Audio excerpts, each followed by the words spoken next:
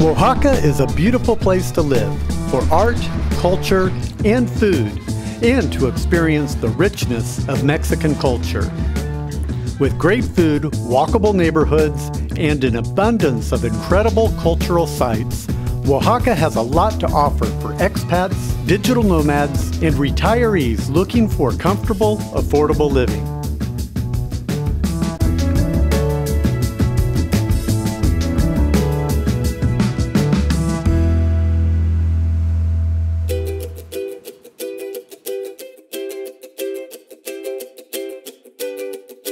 So, how much does it cost to live in Oaxaca? If you plan to cook most of your meals and live in a cheap apartment or hostel, I recommend at least $800 per month. If you are living with a year lease and eat out at local restaurants for most meals, $1,200 to $1,800 per month is comfortable. Most long term nomads and expats I know live within this range. For living in a furnished Airbnb, paying weekly or month to month, and eating out all your meals, you can live on $1,900 per month.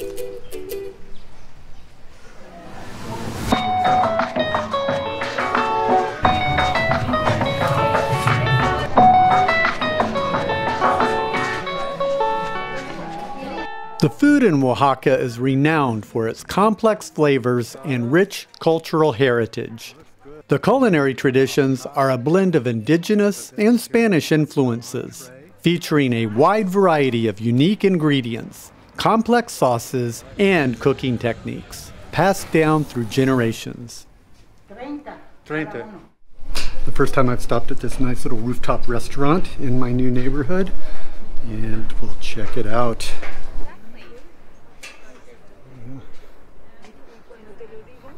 And eating out in Oaxaca is an adventure. There is no shortage of amazing restaurants in amazing settings. Unique restaurants often feature traditional Mexican architecture and decor, with bright, colorful walls, tiled floors, and rustic wooden furniture. Many also have outdoor seating areas, allowing diners to enjoy the city's pleasant climate while enjoying their meal. The kombucha is 40 pesos. The breakfast is 80 pesos for the breakfast burritos. So 100 pesos about $5 for breakfast. It's good. Restaurants in Oaxaca are very affordable. You can get a good meal at a cheap restaurant for less than $3. A meal at a nice, inexpensive restaurant costs just $6. This is a nice restaurant that serves organic and vegan items. So the meal of the day came with a drink, which was lemon cucumber. The entree was a pasta dish with asparagus and portobello mushrooms with the almond cream sauce. Came with a nice salad that's got several different types of mixed greens, the tomato vegetable soup, and it also came with a dessert that was like a frozen berry mint, and all of it is 120 pesos total, so about $6. While a meal for two people at a mid range restaurant costs just $30.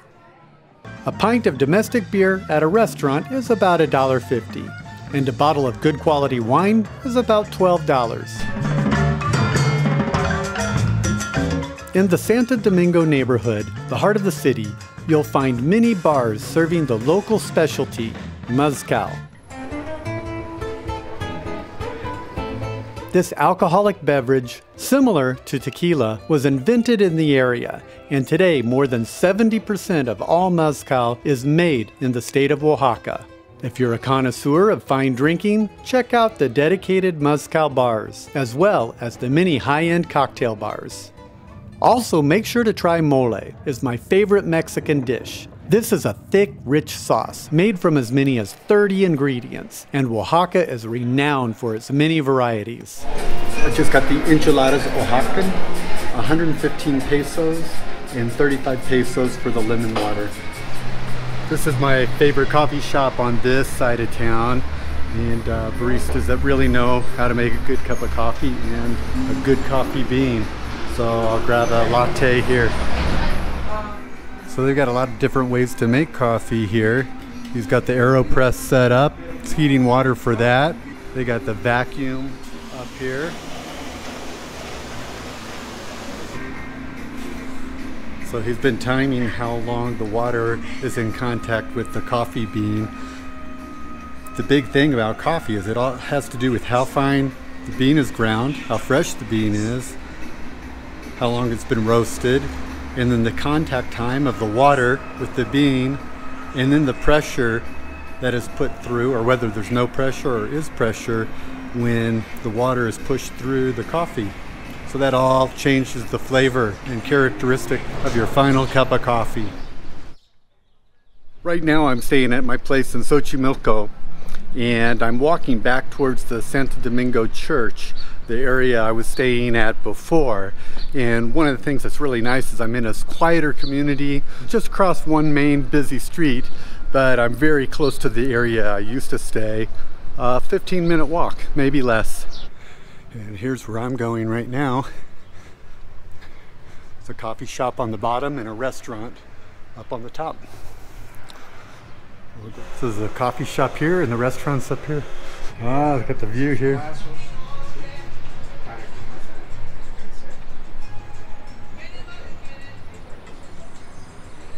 Just a few blocks away from the big church. You can see where we are in Centro here. We're surrounded by the taller mountains.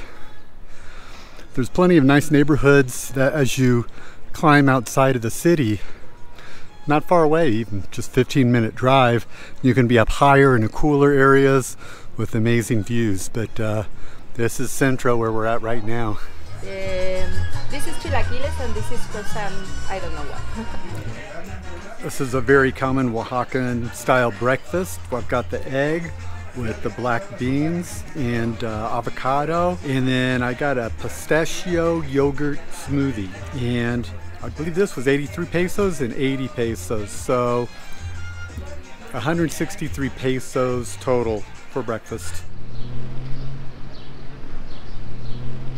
With a year lease, a one bedroom apartment in the city center cost about 450 US dollars a month while a three bedroom apartment cost about 650 US dollars per month.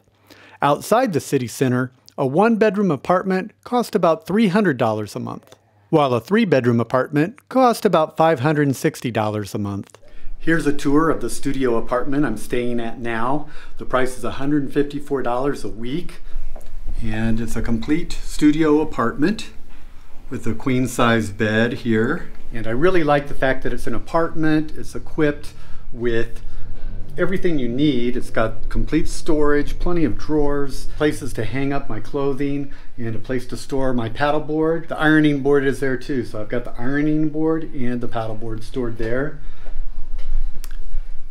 And I also have a kitchen, complete kitchen, so I can cook some of my own food, and that'll be very handy. Small toilet, the shower.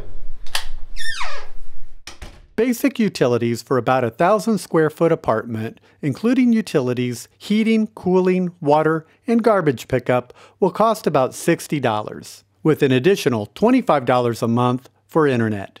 This apartment is Semilla Boho. Boho. All right.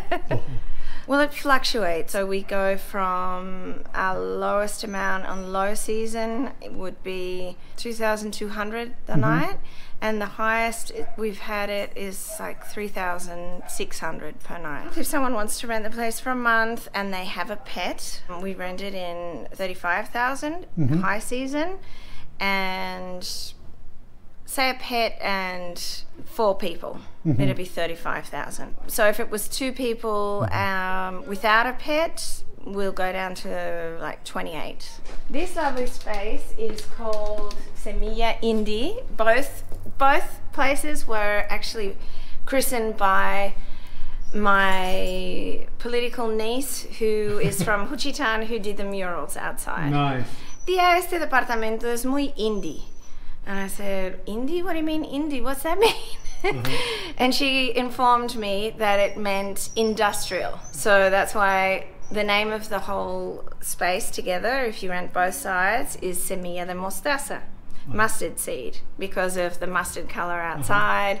and I was planting and doing this basically based on faith. When I started, it was like I don't know where the money's coming from, I don't know where the furniture's coming from, and it all It all worked it out. all worked out per night. Um, the this pla- this space goes from the lowest price is like one thousand eight hundred pesos per night, and the highest it's been is two thousand eight hundred. Two people per month. Low season, um, twenty six thousand. High season.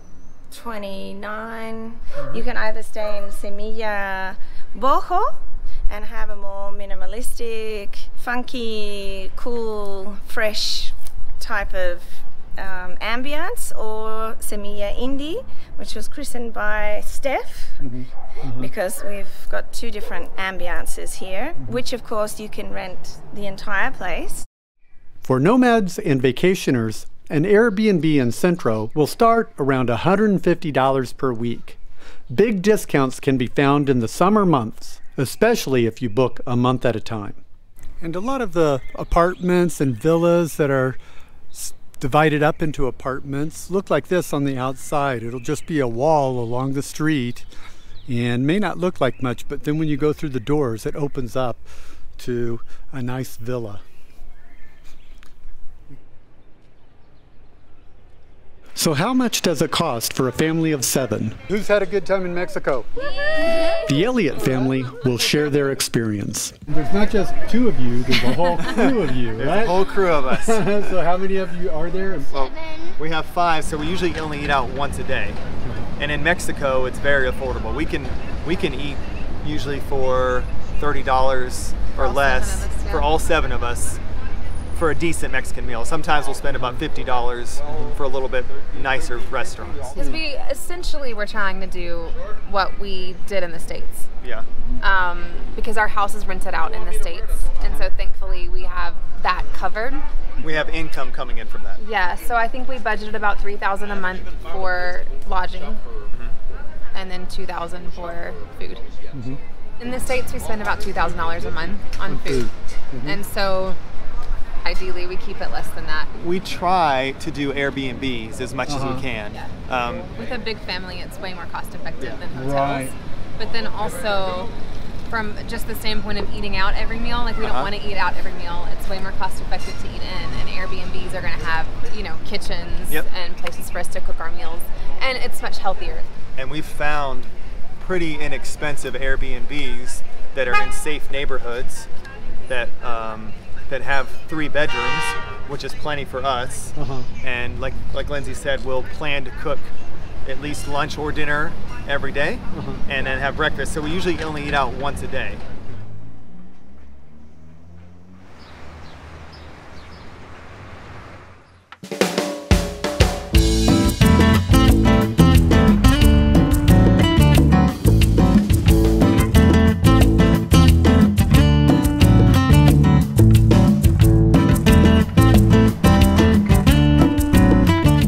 Oaxaca, Mexico has emerged as a popular destination for hipsters, visitors, and expats seeking a unique cultural experience.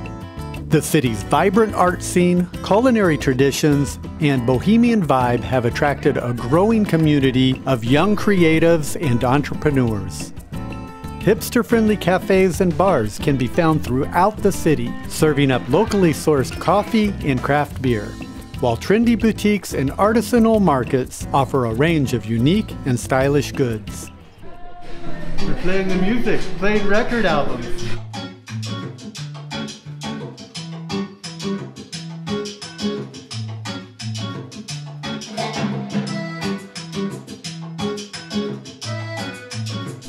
This is really cool. You can come in here, pick out an album, and play.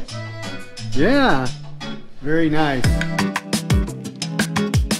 Oaxaca's street art scene also adds to the city's hipster appeal, with colorful murals and graffiti adorning many of the city's walls.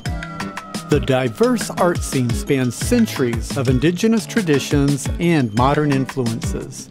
The city is home to numerous museums, galleries, and art centers that showcase the works of both established and emerging artists.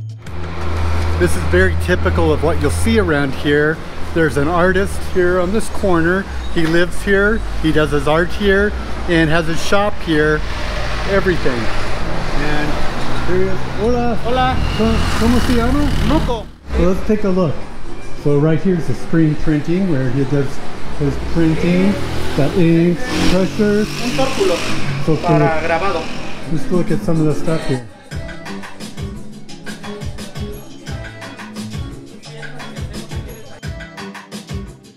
One of a kind art right here. Inspiration Gustav Klimt. Este, diferentes autos, diferentes artistas. And this, this you printed here. And cu- cuánto cuesta? Este está en 4.50. Look at all these amazing t-shirt designs. These are original art prints and designs, silk screens. Really high quality, really creative art, and so many options.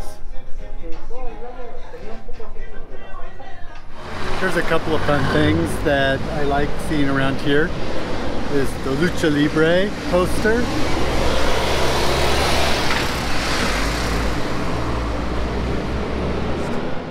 Folk art includes textiles, ceramics, and wooden carvings, many of which are still produced using ancient techniques passed down through generations. So, right here where they're making these blankets, you can actually buy them also. And a queen size cost 850 pesos. That's about what you'd pay for a blanket made from China at Walmart in the United States. But instead, you get something that's made here in Mexico on location by a family that's been doing it for five generations with natural materials, handmade. I really think these are a great thing to pick up one or two to bring home as a and use at your house at home.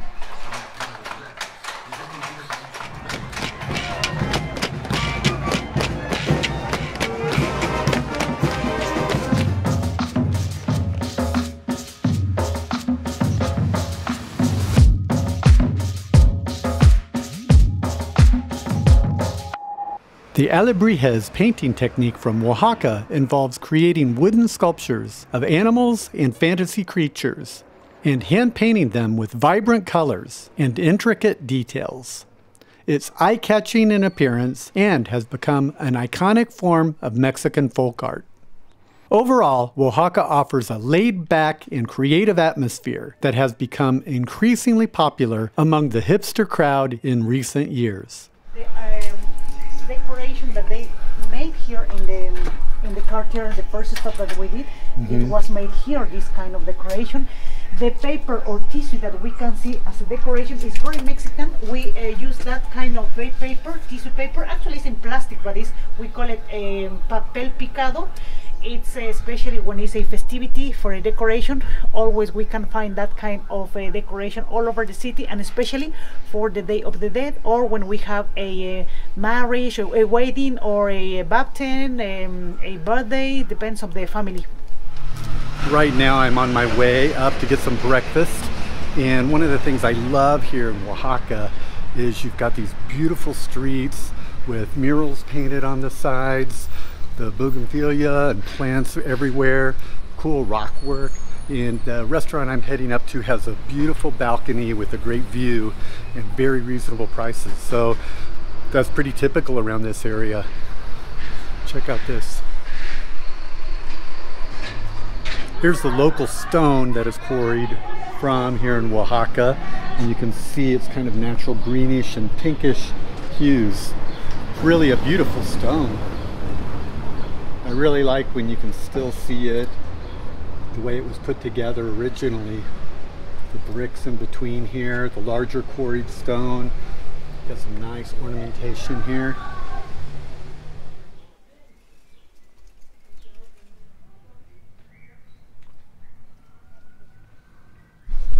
I don't think you see a, that color of blue in a tree very often.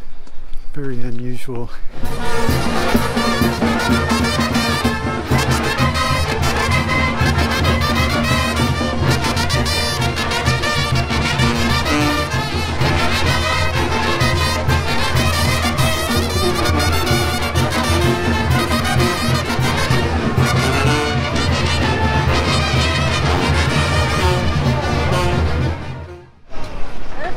Staying in the downtown central area right now.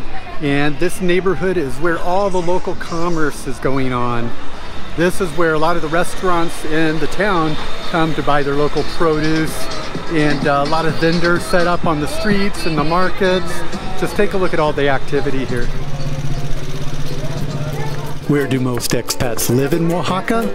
What are the safest neighborhoods? What are the best areas to stay in? What are the best neighborhoods for food, bars, restaurants, shopping, and nightlife? Here is a list of my pick of the best Oaxaca neighborhoods for visitors. And these neighborhoods are great for families also.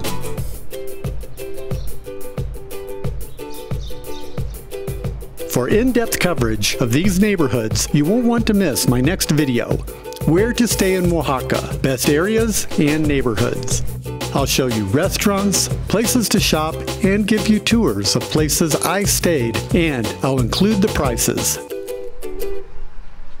It's easy to get by in Oaxaca without a car since the town is so small and walkable. However, if you'd like to get out and see the area, you will need to rent a car or catch an Uber or taxi.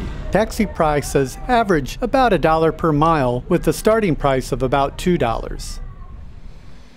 Oaxaca has a dry, warm climate, and high temperatures average about 75 to 80 degrees Fahrenheit. April tends to be the hottest month, where temperatures hit the low 90s Fahrenheit. The summer months are the wettest, with June seeing the highest average rainfall. Throughout Mexico, medical care is available at a fraction of the cost of the United States and Canada. Visits to the doctor are about $40 at a private medical facility. If you're a full time expat or retiree who settles in Oaxaca and becomes a resident, you can enjoy the low rates of Mexico's public health care system, including specialist care and dental care. In Oaxaca, crime rates are lower than in many American cities, making it a relatively safe destination for travelers. No travel destination is entirely risk free.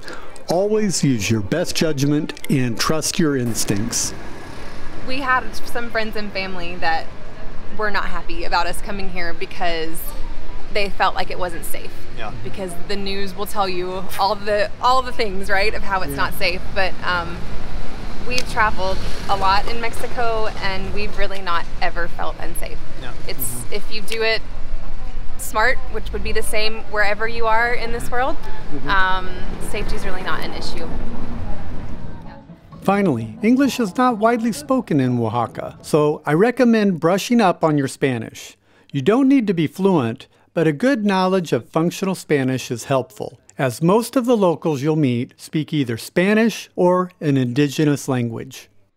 If you have more information to share about Oaxaca, including recommendations for restaurants, places to stay, or local attractions, please leave a comment. Your support helps us continue to make these free videos to help digital nomads and expats find a place to call home.